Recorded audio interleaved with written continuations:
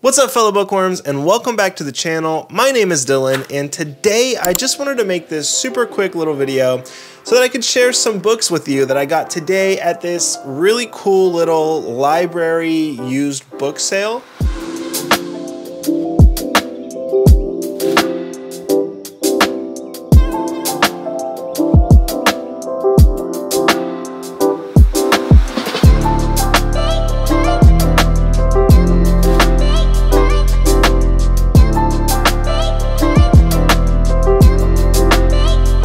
You guys have ever been to anything like this, but basically, I think it's just a way for the library system to get rid of some excess books. But I definitely think that there were also some donations. Maybe it's mostly donations, people donate to their library, and then the books that the library can't use, they just sell. I have no idea, but I know that these cool little sales are a great way to support your local library system and they're just generally cool. They're a great place to find some really good books for really cheap. We got, I think, a total of eight books today for like $23. The most expensive book was $8. So we found some really great books at really, really great prices. So this is not really going to be fall themed. If you saw my fall TBR video, you know that I'm kind of trying to stick to like spooky, thrillery fall type books right now. So these probably aren't going to fall into that category except for one. But still, I just wanted to share some super cool books with you guys that I found today and maybe get your feedback. If you've read any of these books or know anything about them, please let me know in the comments below what you thought about these books. So let's just get right to it and start with the first book that we picked up, which was Take My Hand. This is a book that my wife chose, and she was actually recommended this book by someone that we know who said it was really, really great. It is historical fiction, and it is a relatively new release. This was a book of the month book like maybe two months ago, maybe three at the most. And we got it for $8, which was the most expensive, air quotes, book of the entire haul. So for that price, uh, this is definitely a steal of a deal. Now, again, I probably won't, eh, unless my wife really loves it, probably won't read this book.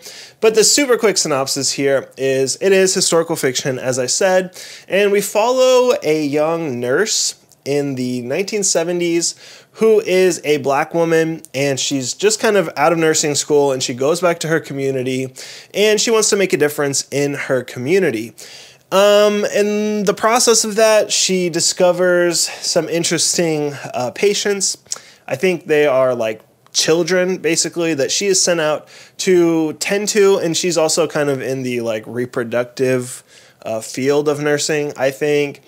And something happens with those kids and then we flash forward and she's an adult trying to retire probably in present day or something and then something from her past presumably with those children comes back up.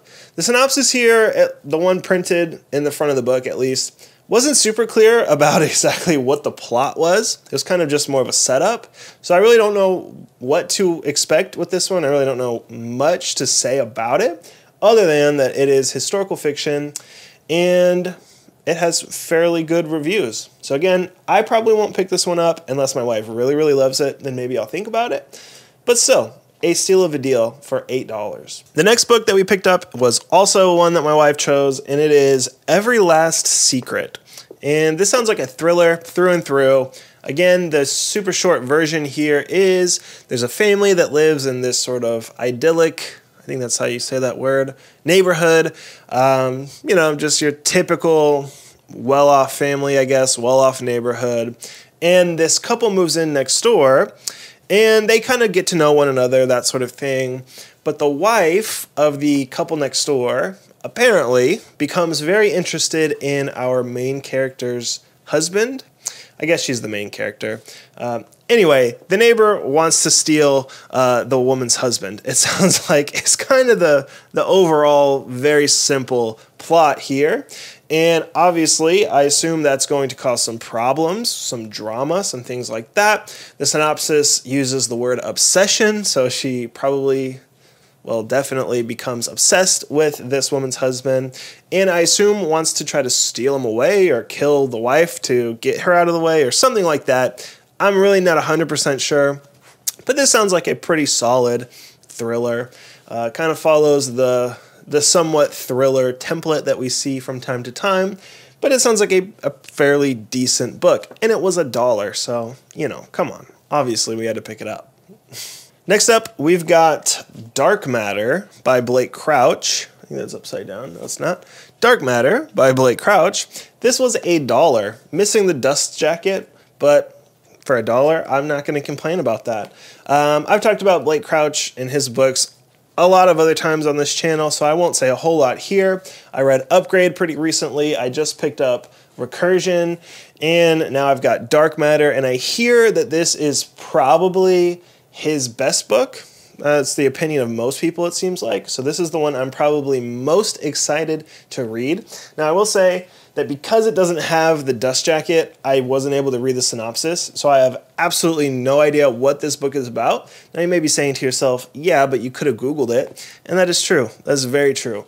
But I did not, and I'm not going to do that now. So let me know in the comments uh, what you thought of this book, if you read it. If you're completely unfamiliar with Blake Crouch, he is kind of uh, a techno thriller, I think is the official genre writer, which is like uh, technology based thrillers. The only book of his that I have read was Upgrade, which was a pretty good book. I would recommend it, but I'm not super familiar with his work. So, again, Really excited to read this one. I probably will try to read Recursion first and save this one for last since it is kind of generally agreed upon to be his best book. I'll save it for last. But I am excited to read it, hopefully eventually sometime pretty soon. All right, we'll segue from a intense techno thriller to this gem of a book. This book is called Prose and Cons, but it's prose like writing, P R O S E. This is a book that my wife chose. This is what we call in the biz a cozy mystery. By the biz, I mean uh, people who read, you know. Um, this is, yeah, it's just your cozy mystery. The plots are probably all kind of the same, but basically, what we've got here is I'm pretty sure a detective cat and in this Detective Cat's town, there's this uh, food and wine festival. They live in, I think, like upstate New York somewhere. And this small town has a food and wine festival that's going to draw draw all these people to town. And I maybe the cat wants to do it. I'm really not sure who, but someone owns a shop or something, and they decide that to uh, entertain some of the tourists and draw attention to their shop, they're going to have an Edgar Allan Poe reading kind of thing. But the person who is supposed to do the reading ends up being murdered, of course. And so to solve that murder, they have to then use clues from the works of Edgar Allan Poe to try to solve the murder. So, you know, it's that kind of book. It sounds super cute. It sounds super cozy. Is it a book with an amazing plot? I have no idea. Maybe, maybe not. But it sounds like a fun, cute little read that I'm sure my wife will probably enjoy. I'm going to probably put this one on the not for me list, but again, if she's absolutely raving about it, maybe I'll pick it up. But uh, if you've read this one or something similar, uh, let me know in the comments what you thought of it. Now, before I get to the next couple of books, I just want to kind of preface it by saying that yesterday, I think it was, the day before yesterday, I was at Barnes & Noble and I bought The Three Body Problem because one of you guys recommended it. I can't remember who or when recommended it, but I know that on one of the posts uh, under the community tab or in the comments of one of my videos somewhere, someone said they were reading this book and that they were liking it. So I checked it out and it sounded really, really interesting. So I picked it up at Barnes & Noble, like I said, a couple days ago and then when we were at the used book sale today, I actually found the other two books in the trilogy and they were each a dollar. So that is a steal of a deal for sure. They're not really in good shape. I mean, you know, they were a dollar, so I'm definitely not complaining. They're definitely used. Uh, they've definitely been, uh, kind of looks like maybe uh, on a smoker's bookshelf because they're kind of yellowed on the edges. But otherwise, you know, they're not in bad shape at all. And for $2 to finish out a trilogy, uh, I'm definitely going to take that deal every single time. Uh, this one might be in a little bit better shape. I'm not really sure. And I can't really hold them both and the mic at the same time. But here they are $2. I'm pretty happy with that. Uh, if you are the person who recommended the first book, let me know in the comments below. Jog my memory, please, so that I can thank you for that. And if you've read this series or the first book in the series, let me know what you thought as well. Uh, to my understanding, I don't remember much of the plot off the top of my head. I'm going to drop these books. All right, that's better. I don't remember much of the plot off the top of my head, but I know it's uh, like an alien sci fi book. Basically, I think there's this transmission that comes from space, uh, warning Earth, I think, of, a, of an invasion or something like that. And. Um, that's about as far as my knowledge goes. it's an alien science fiction book, and that sounds cool enough to me. I do know that I did at one time know all that the book was about, at least the first book, but I don't remember it all right now. Um, but it sounds really, really interesting. And again, if you've read it, or at least the first book in the series, let me know in the comments below what you thought of it. I would love to hear it. All right, and then the final book that we picked up from this used book sale is The Sundown Motel. And this is the one book that I think fits perfectly into the fall vibe. I'm really contemplating putting this on this year's fall TBR list. If you saw that video, you know that it was already extremely ambitious, and there's absolutely no way I'm going to read all those books during the fall, this fall at least. So adding another book, on the one hand, seems stupid, but on the other, kind of just thinking, why not? You know, it's already stupid. Let's just make it a little bit more stupid. But uh, maybe I'll read it this fall, maybe I won't. But I've heard a lot of good things about this book. This is the Book of the Month edition from January 2020. If you haven't read this book, if you're unfamiliar with it, the sort of short synopsis here is that way back in the 70s, I think, in upstate New York, which is kind of funny because two of the other books, one took place in the 70s and the other took place in upstate New York. So this is kind of the culmination of both of those in the 70s and upstate New York.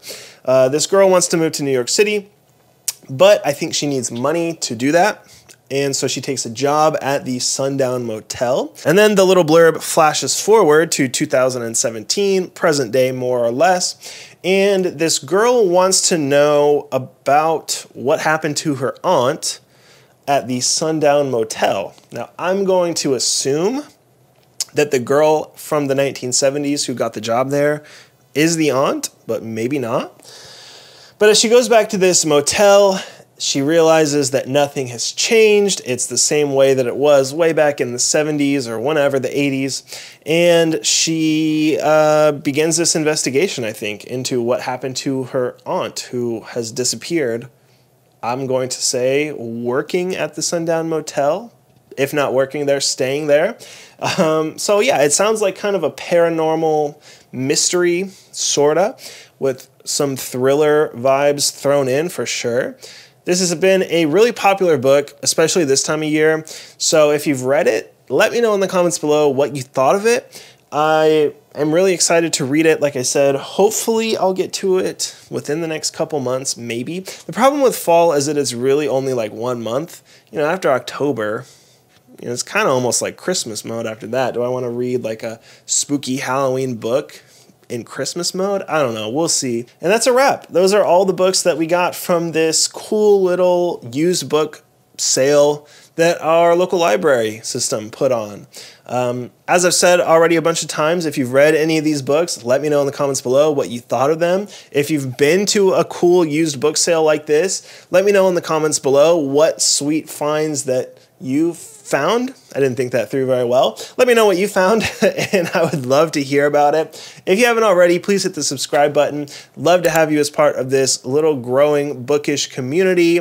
I'm super, super grateful for each and every one of you that are here, that watch these videos, that comment on the videos, that I get to interact with. I love interacting with you guys, and I love hearing about what you guys are reading, what you're enjoying, what you didn't like all that fun stuff. So please subscribe, come back, watch another video. Let's hang out a little bit more.